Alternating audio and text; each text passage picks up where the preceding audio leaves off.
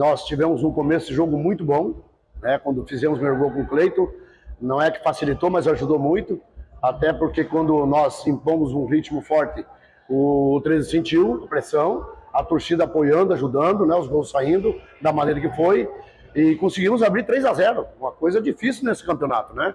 E aí nós tivemos o futebol, como a gente fala, que às vezes é pune a gente, nós tivemos uma chance de fazer o quarto gol com, com o João Vitor, a cabeçada não pegou firme, na sequência tomamos um gol, né? Mas ele está dentro da realidade, né? Tomamos, eu achei que daí no segundo tempo, pelo que nós forçamos bastante, o primeiro tempo é normal, o 13 vir para cima como foi, e também ele atacou com segurança, nós não, não criamos mais chance, e o importante é vencer. Se fosse de 1 a 0 estava bom, hoje 2 a 0 ótimo e 3 a 1 é o mesmo resultado. Então agora é preparar a equipe na semana, nós sabemos temos alguns jogadores que estão é, que são dúvida, né? E outros que estão voltando para a gente analisar quem tem condições, porque agora lá vai ser o segundo tempo dos 90 minutos. Então, acho que foi bom, já parabenizei a torcida que pressionou de novo, nos ajudou, e agora é trabalhar essa semana visando nesse difícil compromisso que vamos ter um jogo equilibrado contra o 13 lá.